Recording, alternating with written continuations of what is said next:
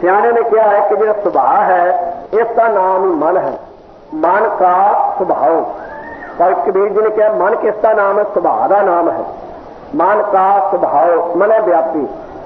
ਤੇ ਜਿਹੋ ਜਿਹਾ ਕਿਸੇ ਦਾ ਸੁਭਾਅ ਹੈ, ਸੋ ਉਸੇ ਤਰ੍ਹਾਂ ਉਹਦੀ ਜ਼ਿੰਦਗੀ, ਉਸ ਦਾ ਜੀਵਨ ਅੱਗੇ ਗੁਜ਼ਰਦਾ ਹੈ।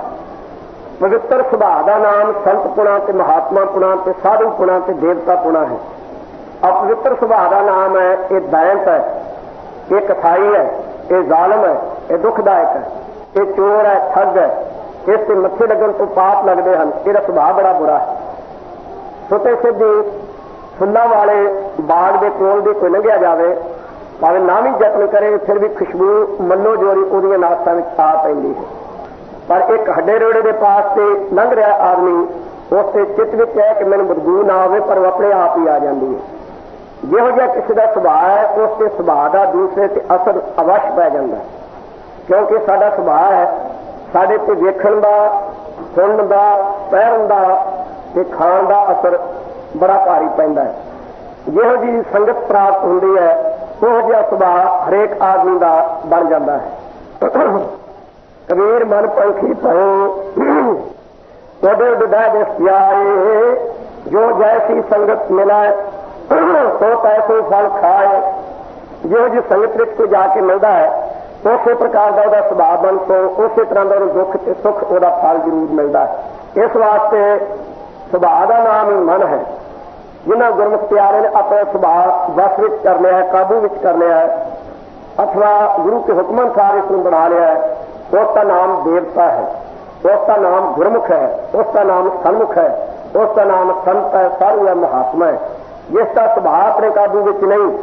ਜੇ ਕਾਮ ਦਾ ਸੰਕਲਪ ਫਰਿਆ, ਤਾਂ ਐਸਾ ਰੁੜਿਆ, ਆਪਣਾ ਸਾਰਾ ਜਪ ਸਤ ਦੁਆ ਕੇ ਮੂੰਹ ਕਾਲਾ ਕਰਾ ਬੈਠਾ।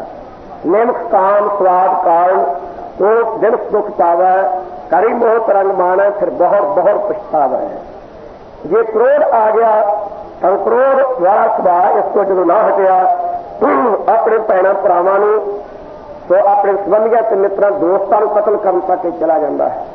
ਕ੍ਰੋਧ ਐਸਾ ਬੁਰਾ ਹੈ ਸੋ ਇਸੇ ਤਰ੍ਹਾਂ ਲੋਭ ਵੀ ਆਇਆ ਇਹ ਲੋਭਾ ਲੰਪਟ ਸੰਸਰ ਮੋਰਾ ਅਨਕ ਲਹਿਰੀ ਕਲੋਨ ਤੇ ਤਾਵੰਤ ਜੀਆ ਬਹੁ ਪ੍ਰਕਾਰ ਅਨਕ ਭਾਂਤ ਬਹੁ ਡੋਮ ਤੇ ਨਕ ਮਿੱਤਰੰ ਨਕ ਇਸਤੰ ਨਕ ਬਾਂਧਵ ਨਕ ਮਾਤ ਪਿਤਾ ਸਭ ਲੱਗਿਆ ਅਕਰਣੰ ਕ੍ਰੋਧ ਅਖਾਦ ਖਾਦੇ ਅਸਾਜੇ ਸਾਜ ਸਮਝਿਆ ਲੋਭ ਦਾ ਸੁਭਾਅ ਬੜਾ ਬੁਰਾ ਜੇ ਇਹ ਕਾਬੂ ਵਿੱਚ ਨਹੀਂ ਬੇਕਾਬੂ ਹੋ ਗਿਆ ਹੈ ਤਾਂ ਇਹ ਨਾ ਖਾਣ ਵਾਲੀਆਂ ਚੀਜ਼ਾਂ ਖਵਾ ਦਿੰਦਾ, ਨਾ ਕਰਨ ਵਾਲੇ ਕੰਮ ਕਰਾ ਦਿੰਦਾ, ਨਾ ਪਹਿਰਨ ਵਾਲੀਆਂ ਚੀਜ਼ਾਂ ਪਹਿਰਾ ਦਿੰਦਾ।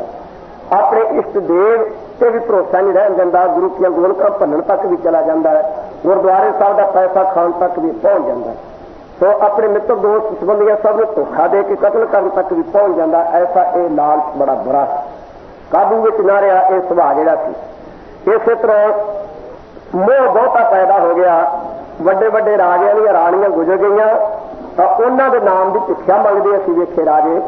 ਸੋ ਇੰਦੂਮਤੀ ਇੰਦੂਮਤੀ ਦਾ ਜਾਪ ਕਰਦਾ ਫਿਰਦਾ ਰਾਜਾ, ਉਹਦੀ ਘਰਵਾਲੀ ਇੰਦੂਮਤੀ ਗੁਜ਼ਰ ਗਈ ਹੈ ਤੇ ਭਿੱਖਿਆ ਮੰਗਦਾ ਫਿਰਦਾ, ਇੰਦੂਮਤੀ ਇੰਦੂਮਤੀ ਕਹਿੰਦਾ ਕਹਿੰਦਾ। ਸੋ ਇਹ ਮੋਹ ਨੇ ਇੰਨਾ ਆਪਣਾ ਪਰਬਲ ਜਿਹੜਾ ਸੀ ਸੁਭਾਅ ਆਪਣਾ ਵਰਤਾ ਕੇ ਵਿਖਾ ਦਿੱਤਾ। ਇਸੇ ਤਰ੍ਹਾਂ ਹੰਕਾਰ ਦੇ ਵਿੱਚ ਆ ਕੇ ਬੰਦਾ ਭੁੱਲ ਹੀ ਗਿਆ ਪਰਮੇਸ਼ਰ ਨੂੰ। ਆਪਣਾ ਆਪ ਵੀ ਭੁੱਲ ਗਿਆ ਤੇ ਆਪਣੇ ਆਪ ਨੂੰ ਰੱਬ ਕਹਿਣ ਲੱਗ ਪਿਆ, ਹਰਨਾਸ਼ ਕਹਿੰਦਾ ਜਲੇ ਹਰਨਾਸ਼ ਚਿੱਥਲੇ ਹਰਨਾਸ਼। ਸੋ ਤਾਈਓ ਦੁਸ਼ਟ ਕਹਾਇਆ, ਹਰਨਾਸ਼ ਦੁਸ਼ਟ ਹਰ ਮਾਰਿਆ। ਇਸ ਅਹੰਕਾਰ ਨੇ ਮਨੁੱਖ ਨੂੰ ਦੁਸ਼ਟ ਬਣਾ ਦਿੱਤਾ। ਅਹੰਕਾਰੀਆਂ ਨਿੰਦਕਾਂ ਪਿੱਠ ਦੇ ਨਾਮ ਦੇਵ ਮੁਖ ਲਾਇਆ। ਤੋ ਇਸ ਪ੍ਰਕਾਰ ਰਾਵਣ ਦੀ ਬੁਰੀ ਹਾਲਤ ਕੀਤੀ, ਮੂਰਖ ਰਾਵਣ ਕਿਆ ਲੈ ਗਿਆ। ਇਸ ਵਾਸਤੇ ਇਹ ਸੁਭਾਅ ਪਰਬਨ ਜਿਨ੍ਹਾਂ ਵਿੱਚ ਵਰਤਦੇ ਹਨ ਉਹੀ ਦੁਸ਼ਟ ਹਨ, ਉਹੀ ਦੈਂਤ ਹਨ, ਉਹੀ ਮੂਰਖ ਹਨ, ਉਹੀ ਪਾਪੀ ਹਨ, ਉਹੀ ਮਾੜੇ ਹਨ। ਜਿਨ੍ਹਾਂ ਨੇ ਇਹਨਾਂ ਸੁਭਾਵਾਂ ਤੇ ਕਾਬੂ ਪਾ ਲਿਆ ਹੈ, ਸੋ ਉਹਨਾਂ ਦਾ ਨਾਮ ਭਗਤ ਹੈ, ਉਹਨਾਂ ਦਾ ਨਾਮ ਗੁਰਸਿੱਖ ਹੈ, ਗੁਰਮੁਖ ਹੈ। ਇਸ ਵਾਸਤੇ ਸੁਭਾਅ ਅਨੁਸਾਰ ਹੀ ਕਿਸੇ ਨੂੰ ਚੰਗਾ ਤੇ ਮਾੜਾ ਕਿਹਾ ਜਾ ਸਕਦਾ ਤਾਂ ਜਿਹੜਾ ਜਿਸ ਤਰ੍ਹਾਂ ਦਾ ਸੁਭਾਅ ਹੈ, ਉਸੇ ਤਰ੍ਹਾਂ ਦੀ ਉਹਦੀ ਕਰਨੀ ਹੋਵੇਗੀ, ਕਮਾਈ ਹੋਵੇਗੀ, ਰਹਿਣੀ ਹੋਵੇਗੀ, ਜੀਵਨ ਉਸੇ ਤਰ੍ਹਾਂ ਦਾ ਹੋਵੇਗਾ। ਮਾੜੇ ਜੀਵਨ ਵਾਲੇ ਨੂੰ ਦਇਤ ਕਿਹਾ ਜਾਂਦਾ ਦਇਤ ਦੇ ਅਖਰੀ ਅਰਥ ਕਰੀਏ ਤਾਂ ਦਇਆ ਦਾ ਅੰਤ। ਜਿਸ ਵਿੱਚ ਦਇਆ ਨਹੀਂ ਦਇਤ ਦੇ ਅੰਦਰ ਦਇਆ ਨਹੀਂ ਕਦੇ ਹੋਵੇਗੀ। ਹਰੇਕ ਨੂੰ ਮਾਰ ਕੇ ਖਾਈ ਪੀ ਜਾਵੇਗਾ। ਇਸ ਵਾਸਤੇ ਦਇਤ ਉਹਨਾਂ ਦਾ ਨਾਮ ਹੈ। ਸੋ ਇਸ ਵਾਸਤੇ ਸੋ ਇਹ ਜਿਹੋ ਜਿਹਾ ਕਿਸੇ ਦਾ ਸੁਭਾਅ, ਉਹੋ ਜਿਹੀ ਕਿਸੇ ਦੀ ਜ਼ਿੰਦਗੀ, ਜਿਹੋ ਜਿਹਾ ਕਿਸੇ ਦਾ ਜੀਵਨ, ਉਹੋ ਜਿਹਾ ਉਸ ਦਾ ਨਾਮ ਪੈ ਜਾਂਦਾ ਹੈ। ਇਸ ਵਾਸਤੇ ਸੋ ਗਰੀਬ ਨਿਵਾਜ ਸੱਚੇ ਪਾਤਸ਼ਾਹ ਜੀ ਨੇ ਸਾਡੇ ਤੇ ਕਿਰਪਾ ਕੀਤੀ, ਆਗਿਆ ਕੀਤੀ ਹੈ ਕਿ ਗੁਰਮੁਖ ਪਿਆਰਿਓ, ਆਪਣੇ ਮਨ ਨੂੰ ਵਸ ਵਿੱਚ ਕਰੋ। ਆਪਣੇ ਸੁਭਾਅ ਨੂੰ ਆਪਣੇ ਅਧੀਨ ਕਰੋ। ਸੁਭਾਅ ਤੁਹਾਡੇ ਤੇ ਪਰਬਲ ਨਾ ਪਵੇ। ਸੁਭਾਅ ਨੂੰ ਆਪਣੇ ਅਨੁਸਾਰ ਚਲਾਓ। ਆਪਣੇ ਅਨੁਸਾਰ ਵੀ ਨਹੀਂ, ਇਹ ਸੁਭਾਅ ਨੂੰ ਗੁਰੂ ਕੀ ਆਗਿਆ ਦੇ ਅਨੁਸਾਰ ਚਲਾਓ। ਔਰ ਗੁਰੂ ਕੀ ਆਗਿਆ ਦੇ ਅਨੁਸਾਰ ਚਲਾਉਣ ਵਾਸਤੇ ਗੁਰਮੁਖਾਂ ਨੇ ਸ਼ਬਦ ਦੀ ਓਟ ਮਨ ਚ ਰੱਖੀ ਹੈ। ਗੁਰਮੁਖ ਆਪਣਾ ਮਨ ਮਾਰਿਆ, ਸ਼ਬਦ ਕਸਵੱਟੀ ਲਾਏ। ਸ਼ਬਦ ਦੀ ਕਸਵੱਟੀ ਤੇ ਲਾ ਲਾ ਕੇ ਇਹਨੂੰ ਪਰਖਣਾ ਇਹ ਮਨ ਠੀਕ ਹੈ, ਗੁਰੂ ਕੇ ਹੁਕਮ ਅਨੁਸਾਰ ਹੈ। ਗੁਰੂ ਕੀ ਆਗਿਆ ਚੱਲਦਾ ਹੈ ਕਿ ਨਹੀਂ?